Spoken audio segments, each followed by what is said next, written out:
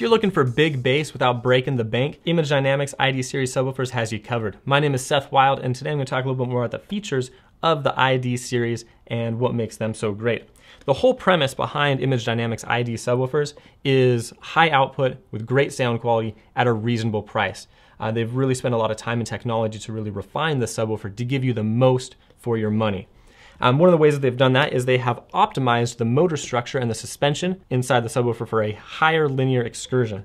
Um, that's going to give you more bass coming from, from this subwoofer. Um, they also have designed these things to work well in smaller enclosures.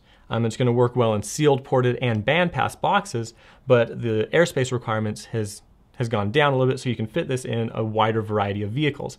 Uh, it doesn't matter what kind of car, SUV, truck you have, you can put one of these subs in there and you don't really need to worry about having a huge box in there to take up a lot of space.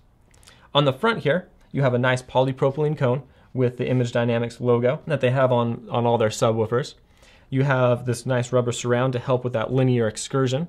And on the side, you have your sets of compression terminals uh, right here. Um, these, this is a dual 2 ohm that I have in my hand, and so you have both sets right here.